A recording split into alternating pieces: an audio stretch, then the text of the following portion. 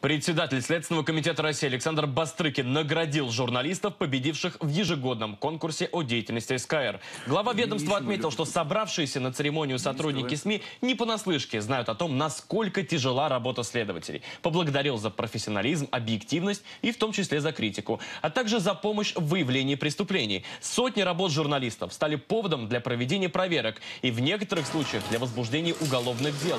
Награды в различных номинациях получили и наши коллеги. Исполнительный продюсер программы «Вести. Дежурная часть» Яков Шуйгин. Ведущая радио «Вести ФМ» Анна Шафран. Главный редактор программы «Утро России» Елена Ивлеева. Генеральный директор Пятого канала Юрий Шалимов и многие другие.